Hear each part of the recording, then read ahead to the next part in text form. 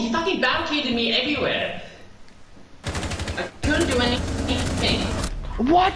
No! I'm recording that. This is what I have to deal with.